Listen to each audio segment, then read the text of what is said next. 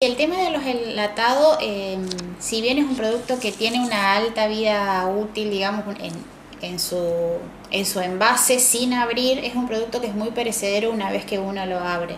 Una vez que uno abre, la ideal es consumir todo el producto que está dentro y si no, como lo indica el envase, transferirlo a, un, a otro envase, lo que, no, lo que no utilicemos, y utilizarlo dentro de, de lo que sean los tres días, como mucho, eh, en heladera. Y sí se pueden congelar, eso sí, por ejemplo, si nosotros nos queda eh, un resto, por ejemplo, de arvejas o de, mm, de, salsa de tomate, yo lo puedo transferir a un envase de plástico y congelarlo hasta que yo lo, necesite o, requiera utilizarlo para alguna receta. Siempre tiene que ser transferido a otro eh, envase apto para conservar alimentos porque la lata, digamos, una vez abierta, quedan expuestos lo que son los metales. Entonces ahí hay una contaminación física con el producto. Entonces por eso es importante que una vez abierto se utilice completamente o se transfiera. Pasa lo mismo con la lata, con los envases de cartón que adentro tienen aluminio. Es igual, el puré de tomate, es leche. igual, es igual. Sí, sí, sí. Eso simplemente es un tema de cambio de packaging por ahí para eh, el tema de las cajas que, que entren más cantidad y demás. Y bueno, eh, también es, es, es menos bueno, eh, tiene más capas de, de, envase que sirven para la protección del alimento, pero se tiene, tiene que tratar igual que un enlatado.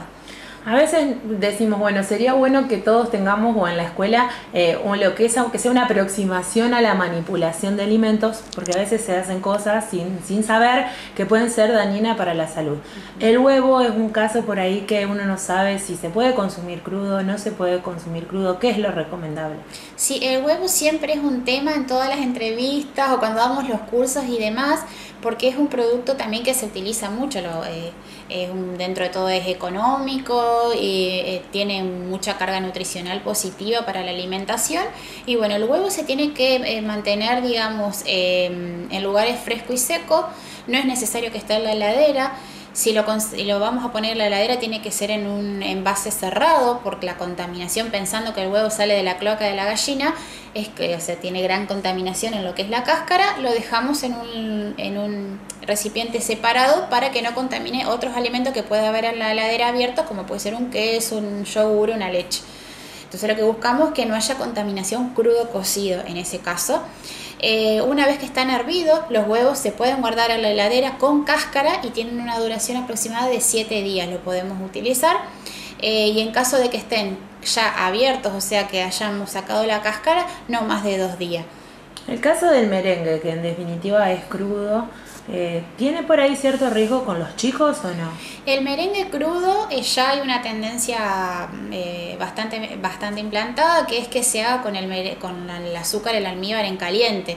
Eso reduciría en, en, y más el batido, la incorporación de aire, reduciría bastante lo que es la contaminación inicial que tiene el huevo crudo, que es lo más peligroso, es la salmonela, que eh, nos da eh, gastroenteritis y otro tipo de, de sintomatología que, nos, que puede llevar a cuadros eh, más graves, pero eh, es lo que se recomienda es eso, que el merengue se haga con, con almíbar eh, bien caliente, caliente eh, para por lo menos evitar esa contaminación microbiológica. Bien, hoy hablaste de frizar alimentos como una opción. También es bueno saber que no es que son eternos en el freezer los alimentos. No, no, no. Eh, entonces, ¿qué, ¿qué recomendaciones harías para bueno, tener una idea de cuándo dejé las cosas?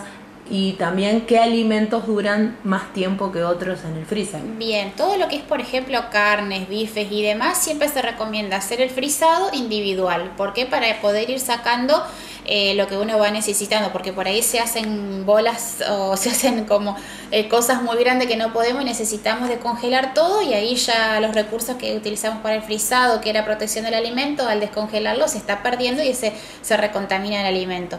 Eh, separarlo siempre con algún tipo de, de bolsita o, o eh, O film. o film, por ejemplo, después sí colocarlo en una bolsa y con un fibrón que yo tengo en casa colocarle la fecha donde yo lo estoy poniendo en, en el freezer. Eh, no necesitamos ni etiquetas ni nada, o con virome, con lo que sea, uno le pone la bolsita y lo guarda. Eh, las carnes, 3, 4 meses, no hay ningún problema. Eh, las verduras congeladas también duran, duran mucho. En Ah. general todos duran más o menos es- ese tiempo. Alimentos procesados como pastas o cosas elaboradas. Sí, también, Depende también. de los ingredientes Eh, depende de los ingredientes. Por ejemplo, los rellenos que tengan arroz o que tengan huevo no se pueden congelar, esos hay que consumirlos los, los huevos, digo el huevo duro, ¿sí? esos hay que, que consumirlo lo, lo antes posible.